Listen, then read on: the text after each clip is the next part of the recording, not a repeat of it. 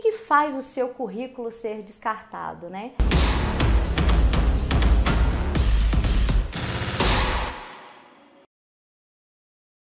Então, esse é o grande questionamento, muitas das vezes, dos próprios candidatos. Por que, que o meu currículo foi descartado? É, por que, que eu não consegui ser chamado para uma próxima oportunidade, uma próxima é, etapa do processo, que no caso uma entrevista ou alguma fase após né, o encaminhamento desse currículo? Então, é essencial realmente a gente ter muita atenção. Uma vez que o currículo, né, ele é o seu cartão de visitas, é o primeiro contato que realmente ah, você né, antes de, de, de ser conhecido pela empresa, vai ter com o selecionador. Então, por isso, a grande importância de você ter um cuidado com ele, de você manter ele atualizado, de você ter uma boa formatação do currículo. Então, saber fazer um bom currículo é um diferencial para você no mercado de trabalho, independente de ser como primeira experiência ou né, se você já é uma pessoa mais experiente, quer se recolocar, quer buscar aí oportunidades melhores. Então nós vamos começar aqui dando um exemplo né, do Steve Jobs, que é alguém tão conhecido, né, tão importante aí que todos já ouviram falar. Tem uma história bem legal, né? Porque ele é o fundador da Apple, né, que é uma, empresa, uma das empresas aí, ou a empresa mais valiosa do mundo, e lá no início da carreira dele, ele não conseguiu ser aprovado ao fazer o seu primeiro currículo e ir para as entrevistas de emprego. Por quê? Por que, que essas empresas haviam reprovado o currículo dele? Porque nele não era possível observar a competência e a inteligência que por trás daquele currículo existia. Então, aqui a gente vai falar um pouquinho sobre isso, né? Eu vou mostrar para vocês aí alguns erros que são comuns, inclusive, e a gente vai entender por que dessa importância. E aí, através desse exemplo, a gente pode aprender muito com o Steve Jobs, inclusive, né? Sobre essa importância que esse currículo tem, a importância da gente colocar né, é, as nossas experiências, as nossas competências técnicas, né? Porque saber estruturar esse currículo faz com que você realmente tenha um pouco mais aí de, de oportunidades, de experiências né, mais é, voltadas para sua área, aquilo que você está buscando. Então vamos lá o exemplo que traz aqui para gente. Ó. Estou procurando um lugar que precise de muitas reformas e consertos, mas que tenha fundações sólidas. Estou disposto a demolir paredes, construir pontes e acender fogueiras. Tenho uma grande experiência e um monte de energia um pouco dessa coisa de visão e não tenho medo de começar do zero. Então, ou seja, né, muito bonito o texto que ele colocou, mas realmente não traz para gente aqui informações que são importantes né, para o selecionador, informações que a gente precisa analisar no momento aí de uma análise curricular. Então vamos lá. Aqui nós vamos trazer um pouquinho sobre oito erros né, que a gente identificou aí que são comuns nos currículos para que a gente possa falar um pouquinho aqui para vocês e trazer, que eu acho que vai ficar mais visual. E para quem está chegando aí para nossa live, né, chegou aí um pouquinho atrasado, seja muito bem-vindo novamente. Então aqui a gente vai falar dessa importância e nós vamos falar um pouquinho desses erros, né, que, que são muito comuns. Então deixa aí o like de vocês, manda as dúvidas que a gente vai interagindo aqui, ok? Então vamos lá, vamos começar pelo primeiro bom eu identificar lá no, no, no, currículo, na hora dessa análise, e que o candidato muitas das vezes ele deixa de colocar? É a falta de qualificação. Então, gente, hoje a gente está vivendo aí um momento de muita competitividade, né, de busca real por qualificação. Então, você precisa colocar lá as suas qualificações no currículo. Essa falta e você não evidenciar, né, é, ou o currículo não corresponder às qualificações exigidas para a vaga, isso pode realmente fazer com que o seu currículo né, não seja selecionado para uma próxima etapa. Então, é importantíssimo que você destaque as suas habilidades, as suas experiências relevantes para a posição a qual você está buscando uma oportunidade, ok? Erros no currículo e a própria falta de profissionalismo. Gente, erros gramaticais, ortográficos, de formatação podem criar uma impressão muito negativa. Então, certifique-se de revisar o seu currículo cuidadosamente antes de você encaminhar o currículo para a empresa. Isso vale para currículos que você mesmo faz a formatação e encaminha, para os próprios sites onde você faz ali né, a digitação das informações do seu currículo. Então preste muita atenção nas informações que você está colocando. Isso é um erro muito grave no currículo, independente da área, independente do nível, realmente é algo que precisa ser analisado. E hoje a gente tem várias ferramentas aí que podem nos ajudar, né? Um corretor ajuda bastante, modelos que às vezes a gente pode ver de currículo pode realmente facilitar nessa formatação, ok? O terceiro erro aqui é a falta de foco. Então, é importante que o seu currículo demonstre claramente os objetivos e interesses que você tem profissionais. Então, personalize o seu currículo para cada vaga e é, coloque ali né, um foco, objetivo real e informações de destaque que vão informar para o selecionador qual que é o seu real objetivo, o que, que você realmente está buscando. Então, colocar no currículo, né, disponível para qualquer vaga ou para qualquer oportunidade, realmente isso demonstra que você não tem foco. Então, o objetivo, colocar claramente o que você quer e o que você está buscando, ou a vaga a qual você está se candidatando, é um ponto essencial e a gente vê muito isso nos currículos, né?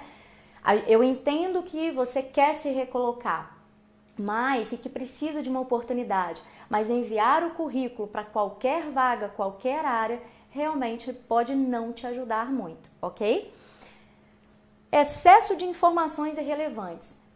O que, que é importante? Colocar informações que são relevantes e que estão de acordo com a vaga e também que vão demonstrar ali né, a, a, as suas competências técnicas, a sua formação, aquilo que você tem para poder agregar aquela nova oportunidade, aquela posição que está sendo ofertada pela empresa.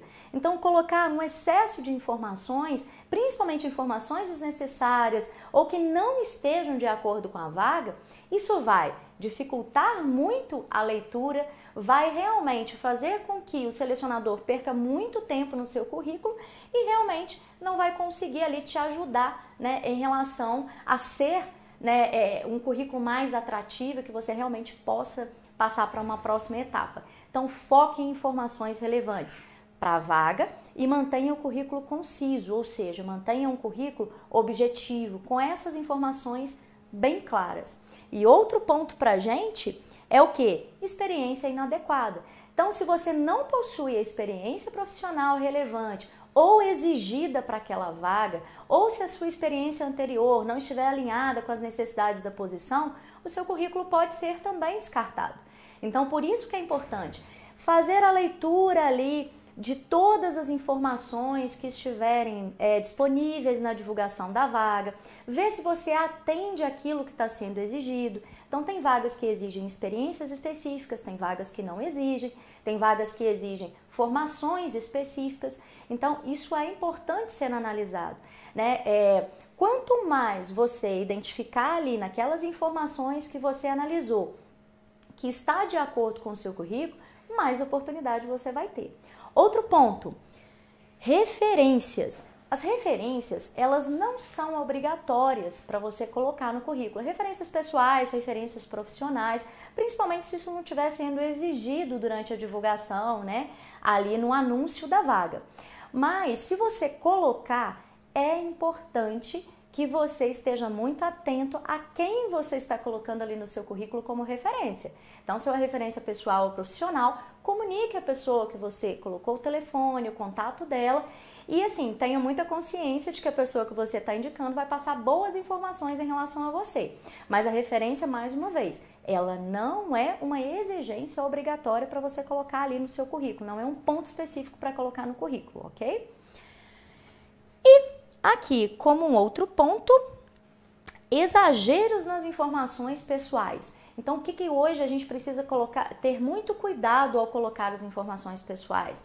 Né? Excesso de informações, erros nos seus contatos, né? É, seja no e-mail, seja no telefone, a falta de atualização dos contatos. Então, essas informações elas precisam estar realmente atualizadas. Então, se você fez alguma alteração no número de telefone ou no seu e-mail, ou não colocar, inclusive, número de telefone, de, de documentos, me desculpe, documentação ali, não é necessário que você coloque isso ali nas suas informações pessoais. Então, mais à frente eu vou passar aqui alguns exemplos, tanto de erros quanto também de como deve ser colocado lá no currículo, que é bem legal aí para vocês utilizarem como um exemplo, ok? E por último, e não menos importante, pessoal, informações profissionais mentirosas. Em momento algum, coloque ali informações no seu currículo que não sejam verdadeiras. Mentir? Nunca. A gente não deve mentir, seja por formação, curso, conhecimentos específicos ou até mesmo experiências. Você não deve fazer isso. Por quê? No momento da entrevista, os recrutadores vão avaliar o que está ali no currículo de acordo com aquilo que você traz das suas experiências, das suas vivências. E nós, através de algumas é, perguntas, né, de algumas formas ali que a gente tem no decorrer da entrevista, a gente vai conseguir identificar se essas informações são verdadeiras ou não, ok? Bom, até aqui, né, pontuamos um pouquinho aí do que, que são esses oito erros mais comuns né, dos currículos. É, existem outros que a gente até poderia colocar aqui, tá? Mas esses são os que eu realmente identifico mais e que às vezes vêm pra gente no currículo e deixam de ter as informações que pra gente é importante. Ok, pessoal? Então vamos lá. Aqui nós trouxemos um exemplo para vocês né? Eu vou falar aqui, vou ler aqui um pouquinho do que a gente descreveu para vocês até entenderem, né, do que que a gente vai falar aqui no próximo slide. Então eu vou contextualizar um pouquinho aqui da nossa personagem que a gente trouxe aqui para vocês, que é a Vitória Voito. Então aqui nós colocamos algumas informações que são fictícias dentro do que a gente quer apresentar, até para ficar uma coisa um pouquinho mais visual. Então a Vitória ela tem 22 anos, ela está no nono período de engenharia de produção trabalhou como diretora de projetos em uma empresa júnior, ela estagiou em algumas empresas e agora ela está é, buscando uma oportunidade de estágio ou também de trainee na sua área. Sucesso para Vitória é ter uma carreira sólida, fazendo o que gosta e ser reconhecida por isso. O seu sonho é conseguir uma vaga de estágio ou trainee em uma multinacional. Para atingir os seus objetivos profissionais, ela está sempre pesquisando informações sobre vagas e se preocupa em investir na carreira para conquistar um diferencial competitivo no currículo. Garanto que muito do que ela colocou aqui como objetivos profissionais faz parte da vida de muita gente que está aqui assistindo. Então, como que a gente vê aqui o currículo da Vitória. Então, ela está aqui com o currículo pronto para poder encaminhar para a empresa. Como eu falei, é um personagem, né? então a gente colocou aqui algumas informações. E eu vou mostrar para vocês aqui o passo a passo aqui de cada um desses itens que a gente pode identificar alguns erros dos que eu disse lá atrás que são comuns. Né? Então, vamos lá. Nas informações pessoais, o que, que a gente pode identificar aqui no currículo da Vitória, nesse exemplo que nós trouxemos? Primeiro ponto, a foto que ela colocou. Foto não é algo obrigatório no currículo, se não for pedido e não deve ser pedido pelas empresas, tá? Você não precisa colocar. Se for um desejo seu colocar uma foto ali, ela tem que ser uma foto mais profissional. Olha só, é uma foto num ambiente que não tem relação né, com, com essa busca aí de oportunidades, não tem uma relação aí, uma postura mais profissional. Então o currículo não é algo que precisa ser colocado, o currículo não, a foto, me perdoe. A foto não precisa ser colocada no currículo. Claro que se tiver uma exigência lá no, do, da divulgação, né? Ah, preciso do currículo com foto. Não concordo que seja exigido e não deve ser exigido. Mas se por acaso alguém colocou lá, você não vai deixar de colocar a foto né, que ele pode não ser é, analisado por conta disso, o que não é correto, né? Mas não estamos tratando disso aqui. Nós estamos falando que se você for colocar a foto, tem que ter cuidado. Né? Eu já vi currículos aí com foto, a pessoa sem camisa, um ambiente de festa. Então não é o ideal para se usar, tá? Aí uma foto mais com foco profissional.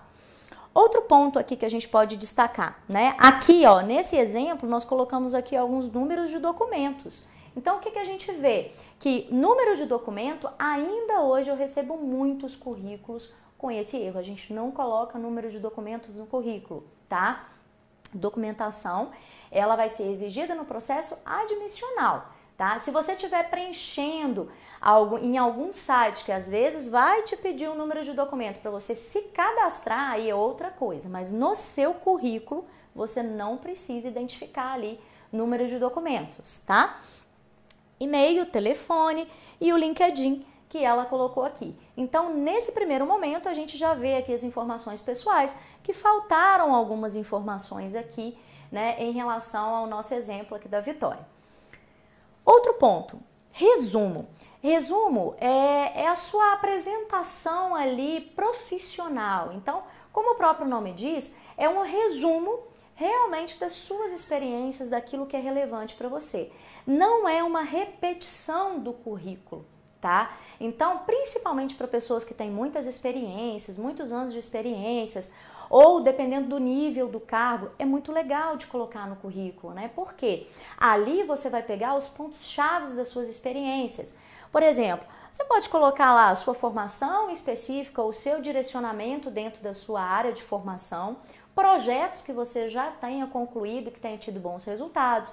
Se você, por exemplo, liderou equipes, ah, uma liderança de uma equipe de 30 pessoas onde eu atingi tais resultados, ou um projeto específico onde eu cheguei ali a determinados resultados dentro desse projeto, você realmente vai colocar as suas é, informações que vão trazer riqueza para o seu currículo, que vão realmente evidenciar né, de uma forma bem concisa, bem objetiva, aquilo que é, você construiu aí no decorrer da sua carreira. No exemplo dela, ela não tem muita experiência. Vocês viram lá na apresentação inicial que é uma pessoa que está estudando, que está buscando uma oportunidade, que não tem muitas experiências. Então ela colocou aqui no resumo: ó, sou graduanda do nono período em engenharia de produção pela Universidade de São Paulo, com experiência como diretora de projetos em uma empresa júnior.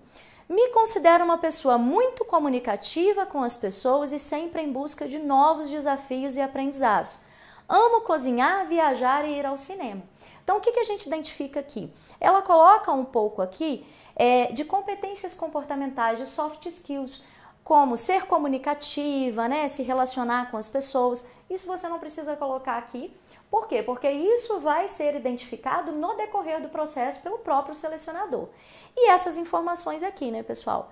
Hobbies, aquilo que você gosta de fazer, também não precisa entrar aqui no seu currículo. Amo cozinhar, viajar e ir ao cinema. É uma informação também que não é relevante para o seu currículo, ok? Bom, no terceiro ponto aqui, a gente passa para experiências profissionais. Né? Vamos ver se vocês identificam aqui alguns erros que são erros assim muito comuns, né? E que às vezes a gente acha que não acontece, mas acontece e acontece muito, né? Experiências profissionais. Aqui a gente já vê um erro que a gente acha que talvez seja absurdo no currículo, mas acontece muito. Eu recebo muitos currículos assim. Então, é o que a gente falou lá atrás, né, como um erro muito comum e grave. É, outro ponto, se a gente está falando de experiências profissionais, ela descreve aqui uma experiência, coloca né, o cargo que ela teve, o setor que ela atuou. Aqui o ano 2006, 2017, 2016 e 2017, mas ela não especifica realmente o mês que ela entrou, o mês que ela saiu, porque isso faz diferença. Uma coisa é eu iniciar em janeiro de 2016 e sair em dezembro de 2017, né? Outra coisa é eu iniciar em dezembro de 2016 e sair em janeiro de 2017. Então esse tempo ele é importante na avaliação. Outro ponto também aqui que a gente pode identificar no currículo dela, ela coloca que as experiências estão todas fora de ordem, né? Então fica meio confuso aqui para o selecionador. E fotógrafa em festas. Lembra lá atrás que nesse currículo ela está buscando uma oportunidade de estágio na área de formação dela é, que é a área de engenharia. Então, essa experiência aqui, ela não é relevante para esse momento. Depois eu vou explicar um pouquinho para vocês um pouco é, mais à frente aqui em alguns itens, onde talvez ela poderia até colocar isso se realmente né, ela achar que poderia ser um diferencial para a vaga dela. Mas aqui não é relevante, não tem relação com o que ela está buscando, ok? Com relação às habilidades, sei lidar bem com pessoas, tenho boa comunicação, conhecimento amplo de metodologia, sei conduzir apresentações. Então, essas, como eu falei, essas habilidades nós vamos avaliar no decorrer do processo. Então você também não precisa apontá-las aqui. Porque, de acordo com o que você colocar no seu currículo, com as experiências que você já teve, mesmo que essas experiências sejam pessoais, né, para aquelas pessoas que ainda não tiveram aí alguma vivência profissional, nós avaliamos de acordo com as perguntas que são feitas ali durante a entrevista. Então, também não precisa ser evidenciadas aqui. Certificações. Então aqui, ó, ela colocou algumas das certificações, mas não tem o ano, não tem a carga horária, não tem o período real que isso aconteceu. Então, outro ponto aqui, ó, ela coloca novamente aqui, ó, o curso dela de fotografia. Então, esse curso é relevante para a vaga que ela está buscando, que ela colocou lá no objetivo dela? Não. Então, ele não precisa entrar aqui. E, pessoal, principalmente para quem tem muitas experiências, muitos cursos, então a gente tem que focar naquilo que é essencial ao que a gente está buscando. Formação acadêmica. Aqui também, ó, nós temos algumas informações nesse item que são importantes. No caso da Vitória, ela está né, é, cursando engenharia de produção. Então, é um pré-requisito para o curso superior o ensino médio como fundamental. Então, ele não precisa ser colocado e evidenciado no seu currículo. Se ela tivesse um curso técnico em alguma área, aí sim ele poderia entrar aqui. Mas aqui essas duas informações elas são desnecessárias nesse caso, ok? Se a pessoa tiver apenas o ensino médio, ela vai colocar apenas o ensino médio. Não precisa também evidenciar o fundamental, porque é uma escala né, de conhecimento que você vai adquirindo. Em relação aos idiomas, um ponto muito importante. Se eu for colocar no meu currículo o idioma, eu preciso especificar. Aqui colocou-se como fluente, né? Mas muitas das vezes a gente recebe o currículo como inglês fluente, por exemplo, e a pessoa tem uma dificuldade na conversação. Então, é importante ficar atento e apontar no currículo os níveis de conhecimento que realmente você tem. Né? Se você é uma pessoa, colocar, colocou lá, você é brasileiro, não precisa especificar que o seu português é fluente. É o que espera-se que a sua língua nativa ela realmente seja fluente, que você tenha um conhecimento profundo, escreva bem, leia bem, ok?